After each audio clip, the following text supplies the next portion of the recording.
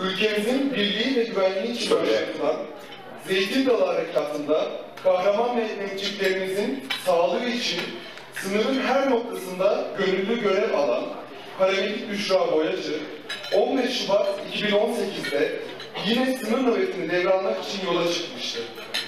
Görev yerine 5 kilometre kala geçirdiği trafik kazası sonucu yaralanmış ve yapılan tüm müdahalelere rağmen meslektaşlarının gönlünde şehitlik mertebesine ulaşıp peygamberlere komşu olmuştur. Şimdi ise sizleri şehit paramedik Büşra Boyacı için hazırlanan televizyon gösterisini izlemeye davet. Söyle. Sen de burada mısın şimdi? Söyle yoksa işitiyor musun beni?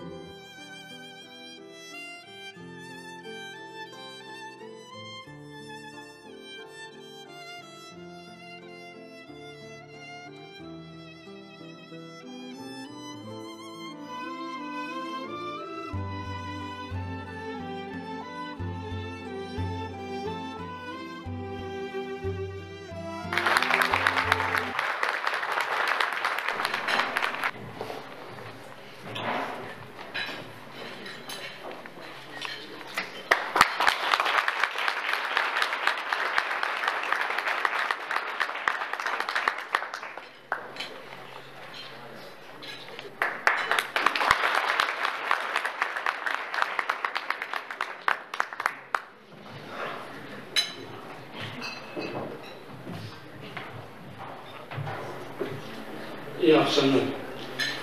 Bir evlat acısı hissetmek olduğunu kelimelerle ifade edemem. Ama bu, me bu memleket için, bu devlet için bir evladım değil, geride daha üç tane daha evladım var. Onları da feda etmeye canı gönülden hazırım. Hepinize teşekkür ederim.